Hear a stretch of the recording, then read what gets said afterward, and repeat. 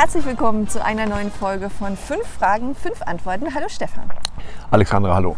Grauer Himmel, schlechte Stimmung in Erfurt? Nö. Nö, ne?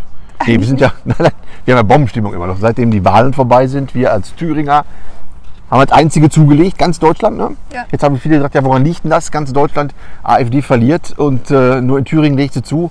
Nicht jeder hat Stefan Brandner als Spitzenkandidaten Nee. haben können. Da hatten die Thüringer Glück in diesem Falle und da legt man auch zu. Gut, es gab auch noch ein paar andere Sachen, die vielleicht eine Rolle gespielt haben, aber also ich sag mal, wir haben einen tollen Wahlkampf gemacht. Fünf von Thüringen, fünf für Thüringen, sind wieder im Deutschen Bundestag. Direktmandate geholt, vier Stück in Thüringen. Ähm, Ich habe in meinem Wahlkreis fast 30 Prozent geholt, also sehr gut gelaufen. Und wie gesagt, bundesweit zugelegt. Und erstmals haben wir ja hier in der Sendung ein Mitglied des Fraktionsvorstands zu Gast. Richtig, vom, nicht bundesweit zugelegt, sondern auf Bundessicht als einziges Bundesland zugelegt, so muss man sagen. Genau, dann hatten wir die Fraktionsgründung in der äh, Woche nach der Bundestagswahl. Das lief eigentlich harmonischer, als man sich das bei der AfD so vorstellt. Dann hatten wir die äh, Vorstandswahlen gemacht. Ich bin Zweiter parlamentarischer Geschäftsführer geworden, äh, sozusagen Stellvertreter von Bernd Baumann. Und ich denke mal, das äh, ist ein schöner Fraktionsvorstand, auch der da zusammengefunden hat. Also ich sehe optimistisch in die Zukunft. Also optimistischer als das Wetter mich hier gerade stimmt. Ja, das habe ich nicht besser arrangieren können.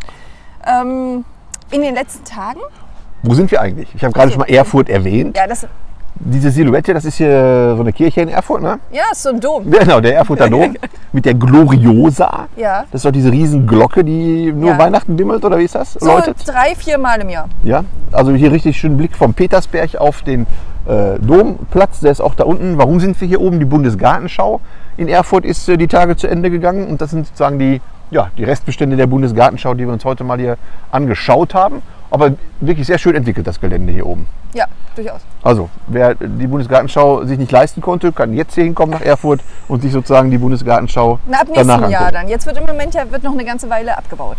Aber wirklich sehr schön hier. So. So, das nochmal zur Einleitung. Wir sagen immer, woher wir kommen. Ja, das stimmt, ich habe es vergessen. Das wissen jetzt alle. So. Ähm, Fuck AfD steht da an dem, ist egal.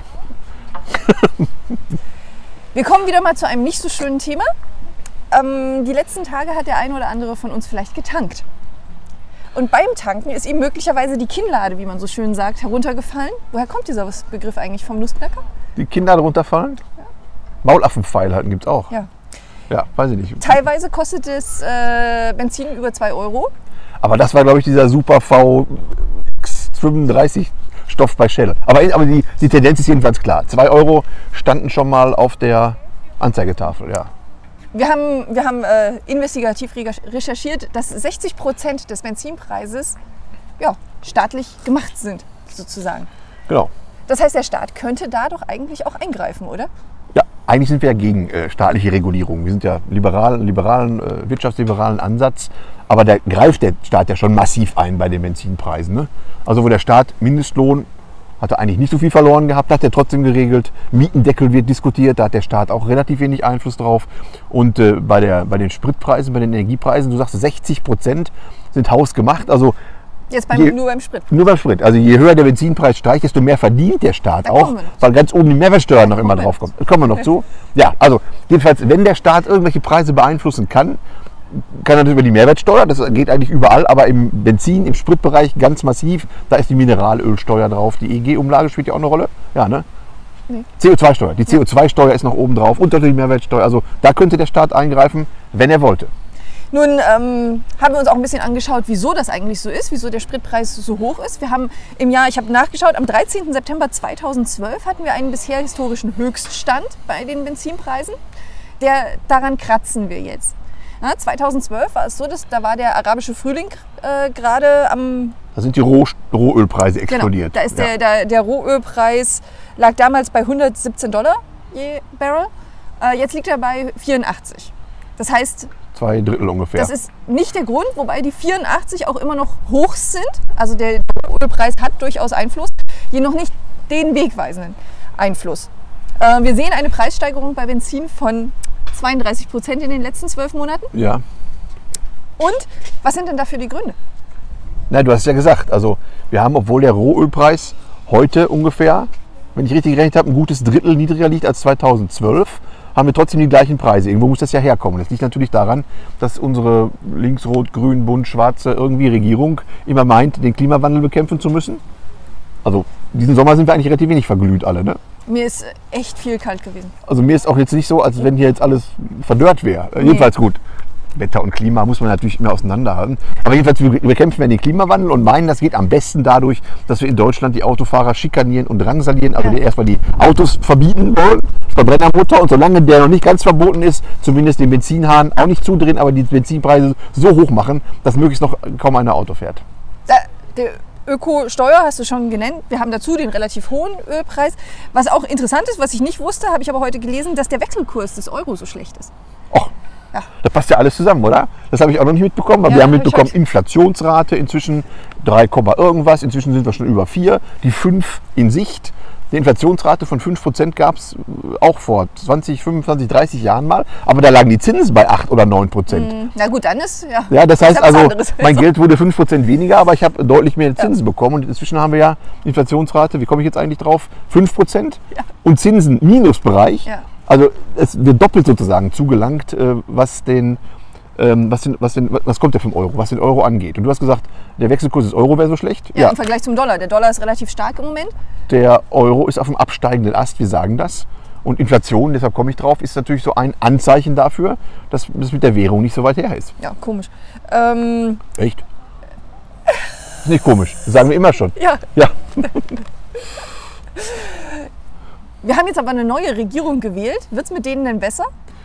Na, bisher ist ja nur der, der Bundestag gewählt. Achso, Entschuldigung. Also neue Regierung steht ja noch in den Sternen. Ja, naja, so doll und nicht. Ne? Und was sie jetzt da machen wollen, also jetzt gerade heute, wo wir aufzeichnen, wir sind ja relativ zeitnah dran an der Ja. Ausstrahlung.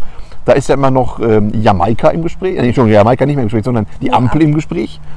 Wobei ich mir nicht vorstellen kann, wie die FDP erstens ihre Wahlversprechen einhalten will und zweitens überhaupt nur daran denkt, mit den durchgeknallten Grünen regieren zu wollen. Also Ja. mal gucken, wie die das unter einen Hut bekommen. Also die neue Regierung zeichnet sich ab und dabei ist ja völlig egal jetzt, ob wir Jamaika haben oder, oder die Ampel, ob jetzt CDU vorne steht oder SPD, immer dabei, die FDP immer dabei, die Grünen und die haben halt ihren, ihren Klimaknall. Ja. Ja, und das heißt halt, die Benzinpreise werden tendenziell steigen, nicht wegen, auch möglicherweise wegen des Rohölpreises, aber auch weil weiterhin Abgaben und Steuern oben drauf gelegt werden. Nun haben wir nicht nur bei den Benzinpreisen das Problem, sondern zum Beispiel auch bei den Gaspreisen. Ich habe heute gelesen, dass in, beispielsweise in Memmingen den Menschen eine Erhöhung um 70 Prozent bevorsteht. Das ist ordentlich, denke ich. Deutschlandweit planen 61 Anbieter eine Erhöhung. In, Deutschland, in Frankreich, wo natürlich das Problem auch auftritt, hat der Staat reagiert und eine Gaspreisbremse beschlossen. Und was macht Deutschland? Ja, wir machen das Gegenteil.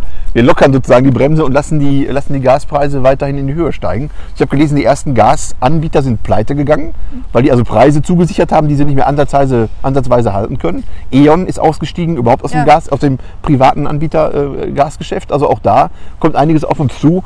Und das, der eine oder andere Mieter es jetzt vielleicht noch nicht merkt, dass die äh, Benzin, äh, die ähm, Energiepreise extrem steigen. Das merkt er dann spätestens im nächsten Jahr, wenn die Nebenkostenabrechnung kommt und er extrem nachzahlen muss für den äh, zu erwartenden Winter.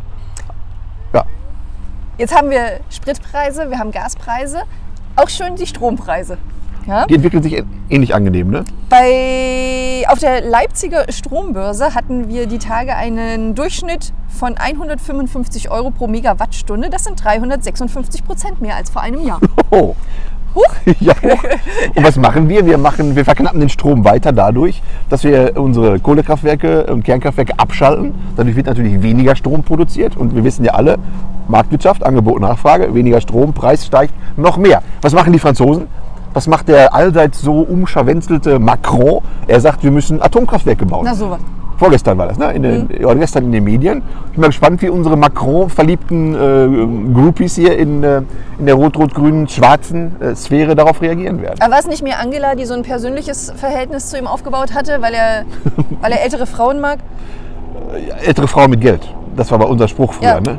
Macron steht auf ältere Frauen mit Geld. Jetzt ist Angela erstmal weg. Also jedenfalls, Geld hat es auch keins mehr. ja, aber eine Katastrophe jedenfalls, wie in Deutschland ähm, ja, mit den Verbrauchern umgegangen wird. Ja. Es nicht in Italien sogar, wo der, der Staat jetzt die, die Heizkosten teilweise übernimmt? In Italien äh, übernimmt der Staat äh, teilweise die Energiekosten von den Verbrauchern. Und wer bezahlt? Wir. Ja. Weil wir Italien sozusagen mit dem Euro, wie hieß es noch, Wiederaufbaufonds Ja. mit zig Milliarden unter die Arme greifen. Und Italien macht was? Senkt dadurch die Verbraucherpreise, ähm, die in Deutschland natürlich, wo kein Mensch dran denkt, Verbraucherpreise zu senken. Ja. Im Gegenteil. War nicht, äh, wer, wer, ich habe es gelesen bei Barley, Barley im, im Fernsehen ja, sagte, ein super Tipp. super Tipp, also wenn die, ich Ener- wenn die. Energiepreise zu hoch sind, heizt doch einfach weniger. Genau. Ja, Ja, wenn die Spritpreise zu hoch sind, fahr doch einfach weniger. Ich Genau. fahr halt nicht mehr auf Arbeit, mein Gott. ja, und wenn die Reisepreise zu hoch sind, fahren einfach nicht mehr in Urlaub. Genau. Ganz einfach, also wenn, wenn, der, wenn, der, wenn das Brot zu teuer ist, esst doch Kuchen. Ja. Das war auch mal jemand, glaube ich, in Ja. Frankreich, ne? Den, ähm, dass er dann am Ende nicht so gut begangen, äh, nicht so gut bekommen ja, ist. sie soll es doch wohl doch nicht gesagt haben, aber sei es drum. Ähm, Man kolportiert. Also ganz toll. Ähm, es war da auch mal Sarazin, glaube ich, der gesagt hat, ja, wenn euch zu kalt ist, zieht euch doch Pullover an. In der Wohnung. Also 16 Grad und stattdessen Strickpullover. So kann man auch Energiespreise, äh, Energiekosten sparen. und die Oma freut sich, wenn sie wieder was zum Stricken hat. So, Genau. so einfach. Wie setzt sich der Strompreis zusammen? 24 Prozent machen Einkauf. das sind aber viele Zahlen heute, oder? ja, ich, ich wollte mal was Faktenbasiertes machen. Ich hoffe, die halten alle durch, die Ja. Zuschauer. Also 24 Prozent. 24 Prozent Strom, Einkauf, Service und Vertrieb, 25 Prozent Netzentgelte und Zähler, das ist gesetzlich reguliert, 51 Prozent Steuern, Abgaben und Umlagen. Ja. Schön, also nicht? der eigentliche Preis ist dann, wäre dann wie viel? Na, die äh, 24 Prozent. Ja. Also wenn man das rückrechnet, dann haben wir ähm, 75 Prozent, was also mit dem eigentlichen Strom nichts zu tun hat. Ja. Mhm. Kosten, richtig? Habe ich richtig gerechnet? Ja. So, So, funktioniert das in Deutschland. du hast schon gesagt, war der Stromausstieg ein Fehler? Na, Stromausstieg, soweit sind Äh, wir ja noch nicht. Atomausstieg, ja, natürlich. aber Stromausstieg kommt vielleicht auch noch. Ich will das ja nicht ausschließen. Aber Kerzen sind auch schön. Ja, aber nicht CO2-neutral. Nee. Da haben wir ein Problem. Aber also, schön. Ja, also diese völlig bekloppte Politik, Energiepolitik, zeichnet sich ja jetzt wieder, also zeichnet beim Gaspreis, beim Ölpreis, wir hatten jetzt gerade beim Strompreis, ähm, gerade beim Strom, aus allem auszusteigen, was relativ günstig Strom äh, produziert und auch äh, beständig Strom produziert, ist natürlich völlig bekloppt. Und dann auf der anderen Seite den Strombedarf extrem zu erhöhen, dadurch, dass ja jetzt jeder mit Stromautos durch die Gegend fahren soll. Ich sage immer so ein bisschen ähm, spöttisch, vor ein paar Jahren wurden die 60, Glühbirnen, 60 Watt Glühbirnen verboten, weil die so viel Strom verbrauchen. Aber die, weiß nicht, wie viel 1000 Watt so ein Auto da verbraucht, die werden jetzt millionenfach auf die Straßen gebracht bei zurückgehender Stromproduktion. Also ich, die ganze Welt sag ich immer, lacht über Deutschland. Ich glaube, inzwischen weint Weinen, die ja. halbe Welt und denkt, wie, wie kann man so, So eine bescheuerte sein. Politik machen? Deutschland vor dem Abgrund. Also energiepolitisch und äh, ja klar, was die Preise angeht auch. So, das war's. Keine Zahlen mehr? Nein. Nein. Wie viele Sendungen hatten wir denn heute? Oh, das kann ich Das wäre dann mal so eine Zahl. Ja, das muss ich nachschauen. Ja. So 100, 100 hatten wir schon? Ich glaube ja. 100, 150 wäre dann das nächste. Ich guck mal nach. Gucken wir mal. So, das war jetzt Erfurt ähm, unter grauem Himmel mit tollen Ausführungen, Ausarbeitungen zu Energiepreisen in Deutschland. Nächste Woche dann aus Berlin möglicherweise. Denke ich auch. Wir werden sehen. Ja. Also, Bis dahin. Alles Oder Gute, aus Gera. alles Gute in die gut geheizte, Hoffentlich. schön durch Strom, Lampen erhellte Wohnung desjenigen, der hinter der Kamera, also jetzt vor dem Bildschirm sitzt, so sagen wir es. Tschüss.